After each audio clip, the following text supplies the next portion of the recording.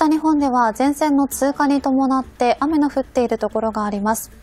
いただいたリポートでも北海道根室市ざわざわ降りの報告です。雨は次第に強くなっているということでコメントもいただいておりましたが、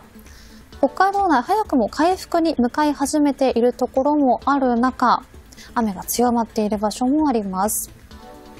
山口さん、この先の雨、はい、どのように変化していきそうでしょうか？そうですね。まあ、北海道東部に関しては午前中がメインですね。えただ東北地方はね、これからまだ降り出すところが出てきます。はい、でまずその原因、天気図をご覧ください。え午前3時現在の実況図見てみますと、まあ、北海道付近を今前線が通過中です。まあ、秋雨前線ということになるんですけれども、まあ、その前線付近、今は北海道の東部から東北の北部にかけて雨雲の帯が見られます。でこの前線、まあ、今は北海道付近ですが、夜になりますと東北の南部の辺りまで降りてくるような状況となります。でこのため雨の範囲も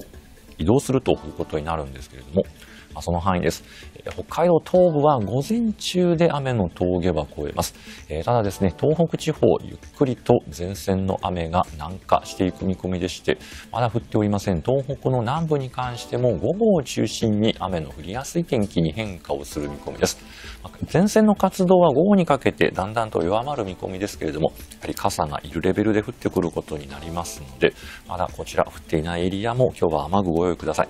一方、前線が通過していく北海道は北部、あるいは日本海側から天気は回復に向かいます。えー、空気の方も、ま徐々に乾く見込みでして、まあ、今日の日中はカラッとした陽気といったところが増えそうです。はい。